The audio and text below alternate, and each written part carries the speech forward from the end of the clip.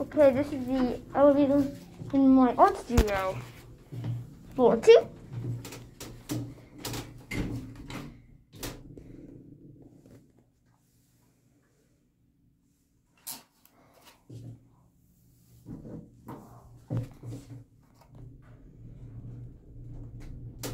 That motor sounds nice.